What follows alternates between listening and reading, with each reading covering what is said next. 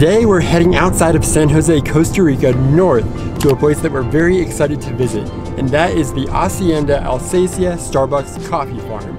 Starbucks owns 240 acres here in Costa Rica where they produce their coffee beans. And today we're taking a tour of the farm to see exactly where our coffee beans are coming from.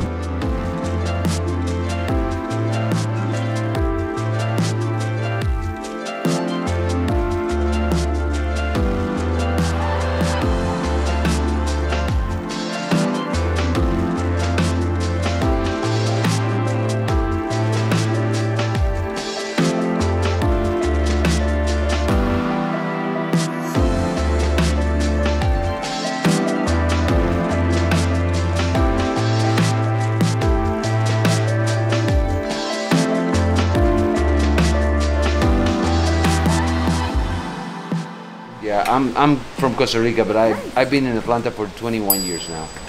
Still Costa Rican. Yeah. oh, definitely. Yeah. Good. And from which part of the country? Uh, San Isidro, Pérez Zeledón. Pérez de León. Yeah. Nice. Nice. A big Good. coffee place also. Yeah, also Yeah. a coffee place, exactly. Excellent. Uh, you guys drink coffee?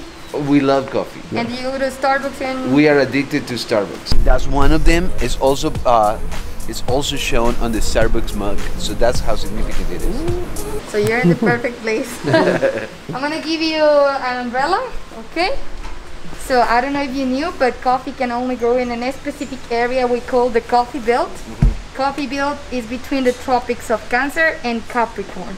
So you can only grow coffee in this area because of the soil, the altitude, and the climate. We're gonna split out the belt in three different regions because each region has a different way to process coffee, also a different tradition and different access to water.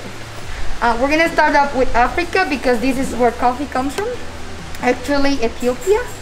And um, coffee was discovered there around 800 after Christ. And then, thank God, what dispersed to the rest of the world. So Africans have other countries like Rwanda, Kenya, Tanzania, Uganda, Congo, and well, they don't have a really good access to water. So they will, they, they will do the dry or the natural process. This means that they're gonna grab the cherry, put them in the sun, and after two to three months, more or less, the, the cherry will get dried like a raisin. They will peel it off and continue with the bean. This is Asia Pacific. So oh, here in Asia, we have China, Vietnam, Indonesia, Sumatra, Papua New Guinea, India, and Hawaii. Hawaii is the only place of the United States that produces coffee, uh, but it's closer to Asia than to Latin America, so it's located here. They're gonna do the semi-wash process, so this means that they're gonna use water, but just a small amount. We got Latin America, that's where we are located right now. That's the best coffee in the world. Yes. uh, actually, also we have the biggest producer of coffee in the world. Can you guess which country is? Is it? It's not Brazil. Yeah, it's Brazil. This is Brazil? Yeah, yeah, size. Costa Rica is number 14 because we're a tiny country. We're yeah, very small. Yeah, but we're, we're in the top 20 list. so yeah, in this um, region, we're gonna do the full wash process because we have really good access to water. Now here, of course, there's Guatemala, Mexico, Panama, Costa Rica, many countries that produce coffee. And from the three regions, we're talking about more or less 72 countries that produce coffee around the world. From the 72 countries, Starbucks will buy to 36 of them. Not all of them, because not all of them will uh, apply to our standards or quality, but 80 80% of the coffee that Starbucks will buy will buy it here. So most of our coffee comes from Latin America, then will be Asia, and the less amount from Africa. In Alsacia, which is Alsace, it's from a region in France, which actually produces really famous wine. So, um, like the grandparents of the last owner came from Alsace. They bought the farm, well, he bought the farm in 1970. He grew it with coffee, and he wanted to remember his family. So that's why he named it Alsacia. Then when Starbucks bought it to him, we decided to keep the date. You can see the sack. 1970 and the original name of Alsacia. And we designed our logo that you can see it here. The three little dots represent the coffee cherries. These will be the leaves of the tree. All together the A of Alsace. Mm. And just right in the middle, the waterfall. I don't know if you saw it. Yeah. yes. Okay, now it makes sense. Yeah. Yeah. yeah, it's a little bit complex. All the research and development we're doing here is, well, hybrids of coffee trees that will produce coffee of a better quality, a little bit more quantity than regular ones in the same amount of land, and then uh, coffee that is more resistant or tolerant to natural diseases. So that people don't have to use a lot of chemicals and pesticides. Inside of a cherry, as I told you before, there's usually two coffee beans, kind of a rounded shape.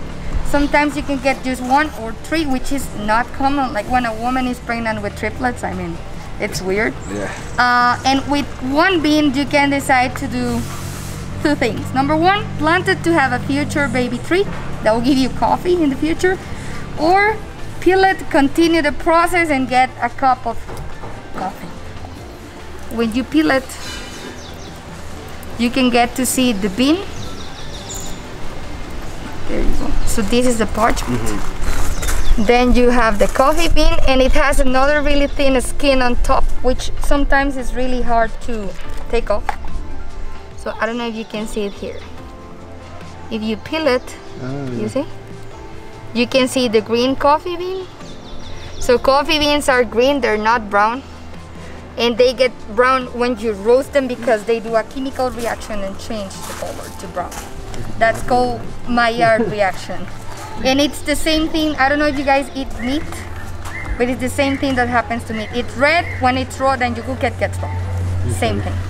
So when we want to plant it, we don't peel it off. So those two layers will be a protection for the bean. So when you plant it like this, you wait two months and it will pop up.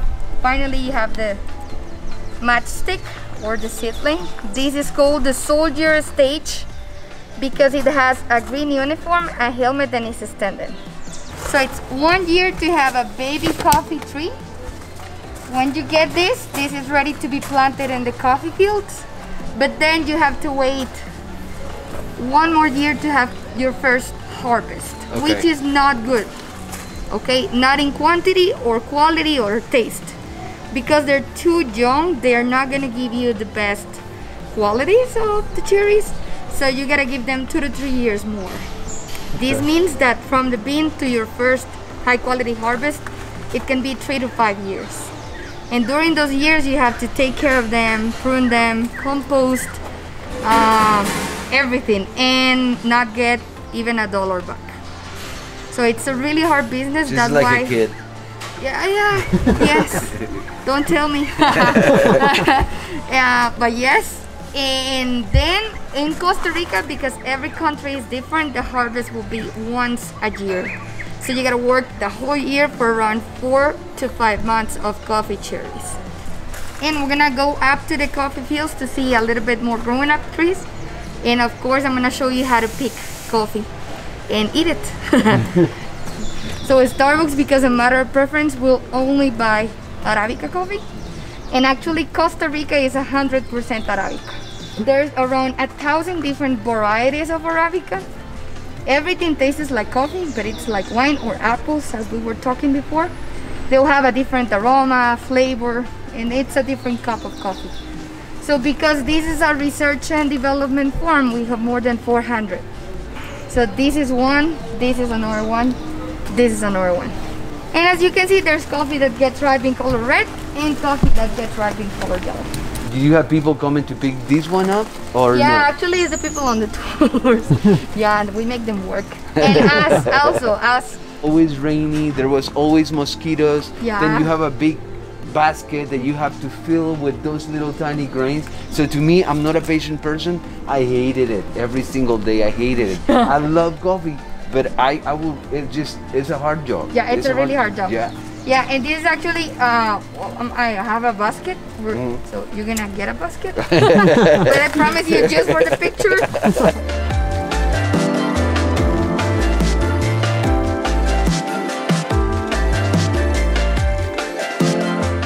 But yeah, exactly. All of the fruit that you see were flowers in some time. And it's exactly like a pregnant woman like me. You see the flower, nine months later, you see the cherry where the flower was. Oh, so that's between the flower and the cherry, nine months. Wow. Exactly. So, uh, because not all the flowers bloom at the same time, not all the cherries get ripe at the same time, and that's why you can see green coffee cherries in between and ripe. Which ones do you pick? The red ones. Yeah, the ripe ones, even though they're red or yellow. So this is the basket, uh, as Enrique was saying. Esta es una cajuela. Eso es una cajuela. Yes. So Costa Rica has the Institute of Coffee of Costa Rica, which is the one that regulates the activity. And we measure and we pay by volume because the higher the altitude you grow coffee, the heavier the bean. So coffee from here is heavier than coffee from Perez And it wouldn't be fair if you do it by weight. So we do it by volume with boxes. First box is named uh, cajuela, and it's more or less the same size of this. So you get paid by the amount of cajuelas you pick in eight hours a day, a day not by the hours you work. Right now, one cajuela in Costa Rica is around 1,300 colones. That's like two dollars. Oh my god. Yeah. so you gotta fill this thing up for two dollars. So I want you to pick. You got one minute. to pick Choose one minute. Pick as much as you can, and Okay. only right. Well, only yes. They gotta be like this, So like anywhere, a pretty, pretty ripe red wine color. Yeah.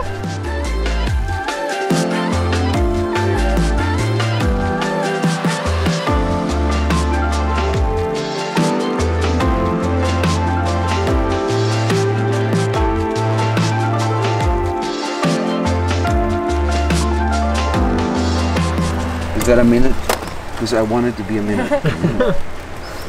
But it's totally fine. Let's let's see how you're doing. Okay. I'm sorry. that one is not this right. is not good.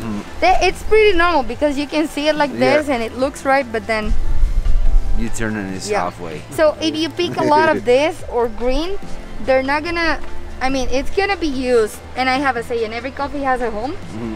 you know. But it's not the main mm-hmm. thing you want. You want quality, and quality starts with coffee pickers in the fields picking the best cherries mm. like this. So now we're gonna come to the meal. I'm gonna take the basket off there so you can see how they measure the coffee. Oh, there. Bueno, ahorita que suben y- Thank you. You can come work whenever you want. oh, this is the cajuela. This is a micro meal, so after the eight hours, we measure with this, we pay the coffee pickers, and then all the cherries will come in a big truck or tractor to the mill to continue the process.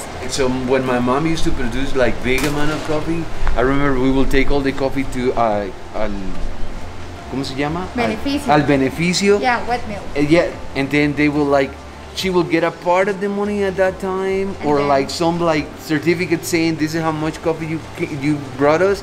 But then months later, she will get a payment, and then months later, she will get a payment. Yes. So it's not like if you collect it today, you're and you bring it here today, you're gonna get all the money. No, it's it, it depends. Actually, and what I wanted to tell you is that when we opened the Farmer Support Center, started started a verification, which is called coffee practices. That means coffee and farmer equity practices. So it's like a checklist with requirements, and if you don't follow them, Starbucks is not gonna buy you the coffee. The price right now in Costa Rica is two dollars by the ICAFE. Anyone that is selling coffee to Starbucks in Costa Rica should pay 30 to 40 percent more. Well, Costa Rica or any other part of the world. So right now in the farm we're paying a little bit more, almost three dollars, which is better price, and they can get a little bit more money. Then there is a hundred percent zero tolerance to child labor. No kid it's allowed to work in a farmer's store Starbucks is buying coffee from zero to 15 years old. And the farmers have to give those kids social benefits of any type. We have three acres down next to the Farmer Support Center. So we give them education, food, medical services, and dental care for free. So it's really nice because I know you're big fans of Starbucks. I was before I work here, but sometimes you don't know what is actually Well, behind of you know brand. that makes a little bit more sense. Like when you pay the price, it's like, oh, okay, so it's not just somebody got robbed out of two cajuela de café, and here I'm buying, I'm paying nine dollars for just a pound. Yeah, Yeah, and, and also the quality of the Right, coffee you're right. drinking. You can taste the difference. Ah, definitely, yes. Yeah. but yes, all, all the things that we're gonna do here is the same we do up there. And we're gonna try to use less amount of water. Because water, even though I told you wash process, it's to make the cherries move, not to wash them. Because you wanna peel them off. So we're gonna make something fun. I'm gonna give you a cherry. You can sanitize it. There's hand sanitizer there if you want. Okay. So this is the skin. mm -hmm. Now if you squeeze it, you get There's two two beans. coffees. Yeah. Okay? Now, there is a worm. This is normal.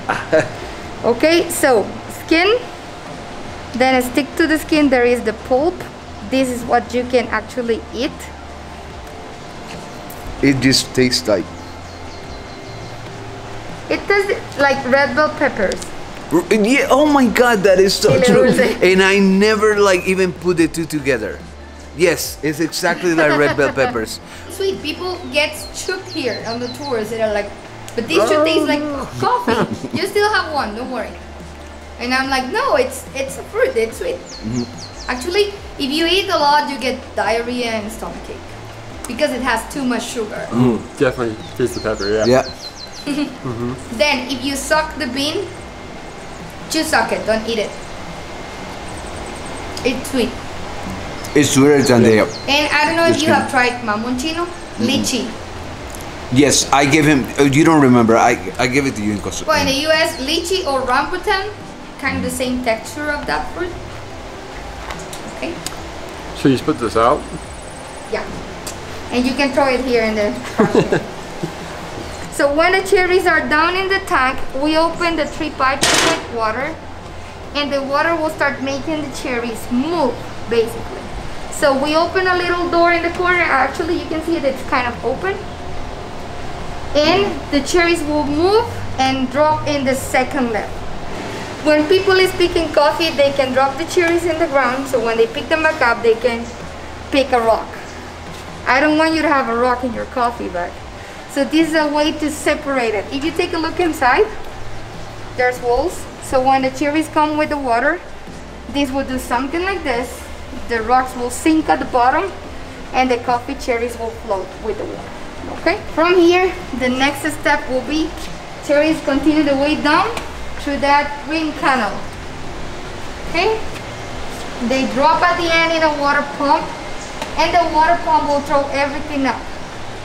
So if you follow the gray pipe in the wall, uh-huh. all the fruit will drop in this machine. Water will go back up to be recycled. So here, when the cherries start coming down this way, this will be spinning really fast. It's this. We call them camiseta, t-shirt, I don't know why. and if you see, it's like a cheese grater. So because it's spinning really fast, it will take off all of the skin and the pulp. And then if you take a look inside, there is a, like a red auger that will catch the slimy beans and transport them to the machine next. So this yellow one, it's a demu- demucilagenator. It's a hard word. this is basically a pressure washer. So just water and pressure will take off the slimy part of the bean. All of that fruit that we call brosa del café, no, transla- no translation in English, will go up to that auger to a cart. And we're gonna do compost. And that's the fertilizer for the coffee trees of the farms. So they continue the way down and they drop in those green carts and they will be ready to get dry. so oh, this is the most regular way to dry coffee in Costa Rica. We're gonna pour the wet parchment beans here and when the sun comes up they will start getting dry. And every 30 minutes someone will be in charge of raking. I don't know if it's harder to pick coffee or doing this. Because there's one guy all day long under the sun raking the beans and they're bigger than this. So they grab a raker. And I don't know if you have seen the Zen gardens. They do the same. So they walk making lines so the beans will move and get dried uniformly. And uh, if it's a lot of coffee so maybe an hour and a half two hours they finish they have to go all over again.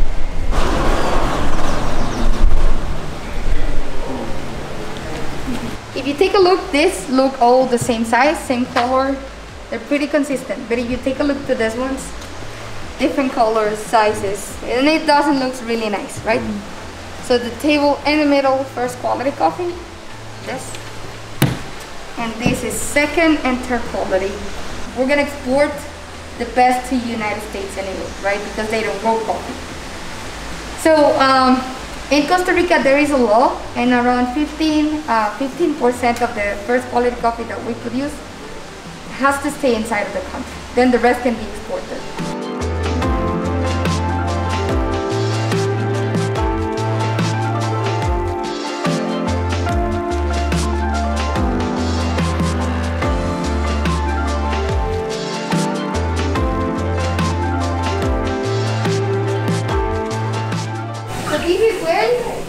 See those roaster? They're from uh, Georgia. He is Costa Rican. No, from de León. and she is a human roaster. So there is the machine and she, and they wouldn't be anything without the other one. It's like, uh, it's the only artisanal roastery Starbucks has in the whole world. So because we're buying coffee from all the regions, you know, we got industrial roasteries. Actually, there's one in, there is Kent, Georgia? No, Kent, Washington. There is one in Georgia. I don't know specifically where, but there's one there. Then there's another one in Seattle. So there's six in the United States, and then there is another one in uh, Amsterdam, Holland. So basically, like all the coffee from Latin America will get roasted in the United States, Okay. and then coffee from Africa and Asia will get roasted in Holland. So light is an enemy of coffee. So you, you want this type of material so the light doesn't come in and ruin the beans. Then this bulb, have you seen it? This is called FlavorLock. This was actually invented by Starbucks. It's patented by Starbucks, but many other companies have the same system. So through this bulb, the gases will keep going out and the oxygen wouldn't come in. So it's always good quality coffee. And then, uh, as I was telling you, keep it inside. If the bag has these two things, if it doesn't have these two, I wouldn't even buy it. Not a good sign. It can be the best coffee, but if it's packed wrong, I mean, there's no point.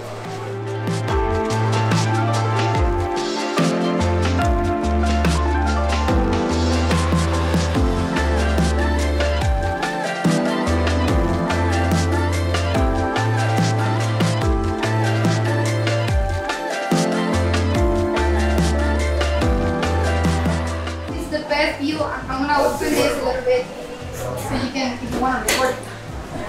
Best view. Oh my god, that's cool. Yeah. Pretty clear, so you got a good view of the central valley. Cheers. Cheers. nice to meet you. I'm glad that you're here. Anytime you guys want to come back, you have a friend. I promise I'm gonna remember you.